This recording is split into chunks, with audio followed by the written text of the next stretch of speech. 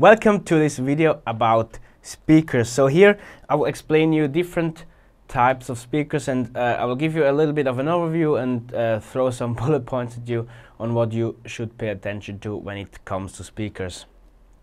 So there is uh, a few different types of speakers. Here first I want to explain you what actually um, is a, a, speaker. I mean how does it work in the end. So uh, one probably a good thing to remember is that it is actually the exact opposite of a of a dynamic microphone. So what we see here, probably remember the video where I explained the, the, the dynamic microphone.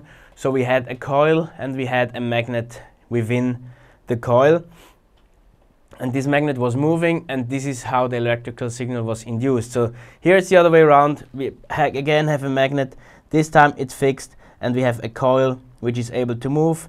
We put the signal we want on the coil so the coil starts moving in the magnet. It moves the membrane. By the movement of the membrane we generate an, an acoustic signal. So we have the electrical signal. The electrical signal makes the membrane moving and through the pressure which the membrane puts into the case of the speaker we generate uh, pressure uh, like like a sound wave pressure volumes in the air and we generate a sound which is then sent out into the room so one important thing to consider about speakers is always their directionality and their angle the angle they have so one thing maybe first uh, it depends a little bit on the frequency on how it spreads into the room. So if we send from a speaker a frequency which is very low, uh, like around 200 hertz or lower, we uh, the sound distributes almost equally into all directions of the room. That's also why it is not very, very important where you place your bass, uh, like your subs, your bass speaker, because uh, you cannot, as a human, you cannot really hear where the sound was coming from because it goes into all directions equally. However, when it comes to higher frequencies, uh, starting at low mids, uh, high mids and highs, the directionality is much more, uh, like it's much more directed sound, let's say. Um, so we can also with this sound, we can basically always hear where does it come from, where is the source of this sound. So it's, it's, it goes into the room much thinner with a much smaller angle. The higher the frequency, the smaller the angle is basically. So that's uh, one thing we have to consider. Uh, it's much more important where we set up uh, speakers for higher frequency than where we set up speakers for lower frequencies. So there is a few different types of speakers. I don't explain you here in detail how these different types work. Just be aware that they exist and that you probably should think about when you buy a speaker like what for uh, is this type of speaker uh, used the best. So for subs or bass um, speakers, we do have this bass reflex type of speaker. So we do basically have the, the membrane uh, in the front, it's normally like 15, 15 inches, 18 inches or bigger. Um, and then basically the membrane generates the, the pressure, like the air pressure volume within the case of the speaker. Uh, here there is a little hole so the like the, the air can go out and this is how the sound then is basically generated. On the horn speaker this works a little bit different. So here basically we have the membrane, I guess it's somewhere back there, and then we have kind of a horn which sends the sound out. So these horns are always used for higher frequencies. It's, it's never used for lows, but more for mids, high mids, and highs. Um, I quickly also at this point want to talk about crossover. Already now you might have noticed that we always um, use different speakers, different membranes for different frequency ranges.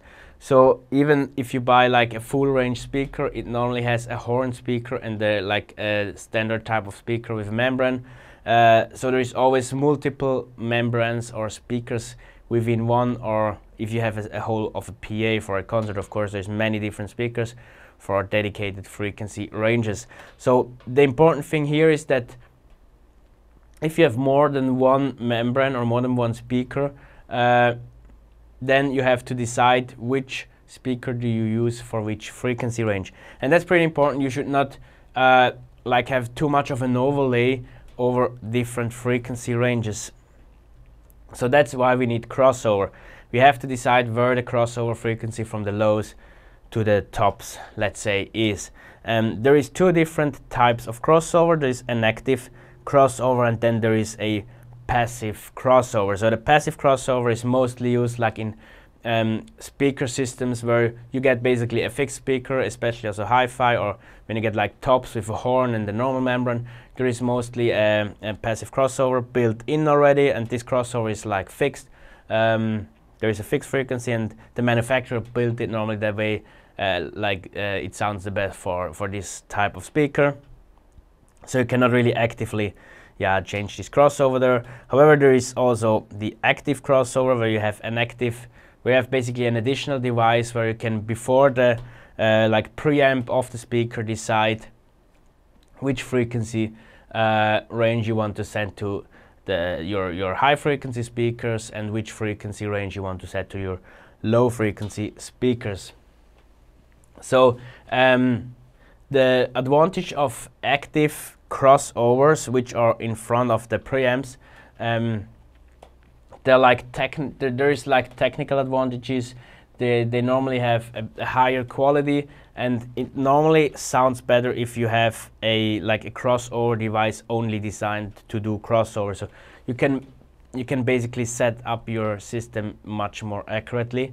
However, uh, there is one bit uh, one little disadvantage and that is that basically for every frequency band, so however you decide to do the crossover, in the end for every crossover you need your own amp, like preamp of the speakers, so that you have to consider.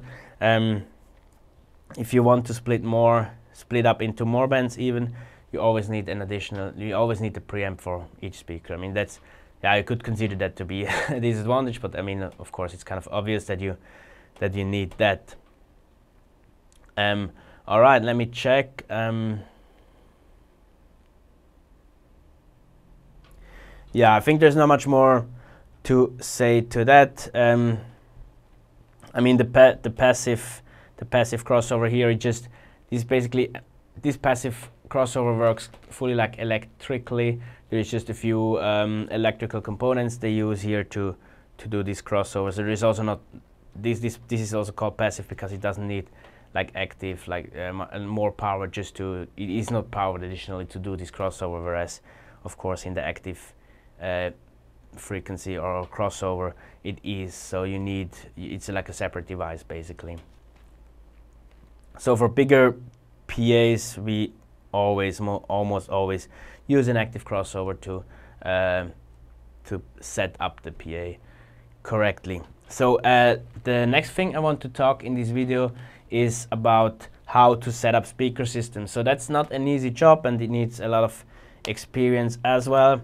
Uh, I want to explain you one thing here and this is that the sound pressure volume it goes down over distance. So after two meters, uh, like uh, if the sound traveled for two meters out of the speaker, you already lost six dBs. So that means the sound pressure volume always already halved after two meters.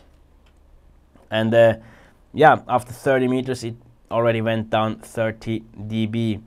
So um, let's let's assume we have the congregation, the audience, uh, sitting in this room here. So the speaker is here, and the first row probably is uh, after two meters, and the last row is after 30 meters. So what happens? The front row gets a very loud sound. Uh, basically the loudest sound and then with every row the sound drops until at the end there's only like minus 30 dB left. So the difference is 24 dB from the first row to the last row and this is not what you want. You want for the whole congregation, congregation to have the almost same sound. So what you want is that the sound difference from the front row to the last row is as small as possible. So how can you achieve that? One way to achieve that is to hang the speakers higher up in the air, something like that. So what you try is to to take your speaker up, up uh, this example here suggests 8 meters, but of course it depends always on the room uh, where you use it. But uh, this picture pretty much shows very nicely how uh, we can now reduce this difference in, pre in pressure volume, in, in sound pressure volume. Uh, so what, what happens here is that uh, the sound travels down from the speaker the 8 meters to the first row. So during these 8 meters it loses 18 dB, whereas uh, the loss is still the same when it goes back these 30 meters. It's about minus 30 dB still here. So what we see here is we, as we also lose now a lot of uh, pressure volume for the first row, the, different the difference in pressure volume shrinks. So it's now just 12 dBs. Of course, you have to increase the volume of the speaker itself because we lose uh, volume for all of the all of the rows, all of the uh, places where people sit. Um, but the difference is now smaller. So uh, always try to hang the speakers high up in the air so that we uh, have almost everywhere the same uh, volume. And also always there, here try different positions, try to to make sure it's not too high, make definitely not too low. So in general you can go always a little bit too high, but make sure you never go too low. One uh, important thing probably is I'm not sure if I wrote that down here. No, I didn't. Um, ah, no, uh, yeah, I did. This, this, this first point here. Um, the angle of the speaker. So how the angle is set here. It should always be that it points straight to the last row of the congregation. Uh, this you can also try to keep in mind. So don't point it down too much. Don't keep it. definitely don't keep it straight. So point it down such that it basically goes straight to the last row of the congregation. Uh, when you have big uh, venues and when you take your speaker up high, you will lose sometimes the first rows. So the sound might not reach the first rows anymore. Why is that? Because every speaker has a certain angle it uh, distributes the sound. So every speaker can distribute the, uh, the sound in a certain angle horizontally and vertically. And this angle is important to calculate, uh, to find out like whether we can reach the whole audience.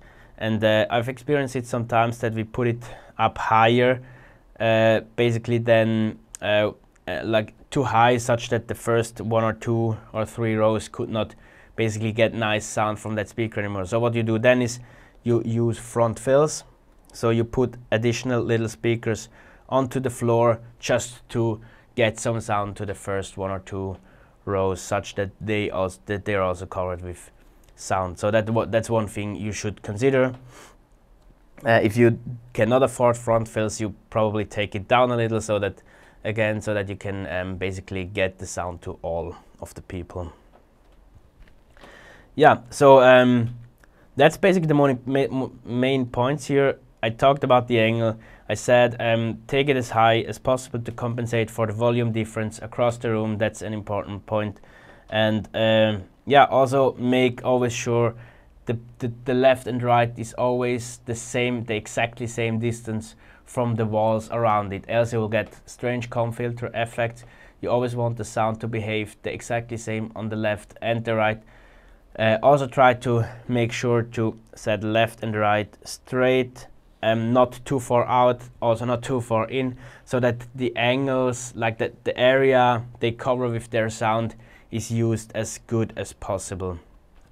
Um, yeah, that's, I think that's basically it for a moment. There would be much more to talk about. I will maybe also link another video here where, um, where which explains how you can set up speakers in, in a venue. See you in the next video.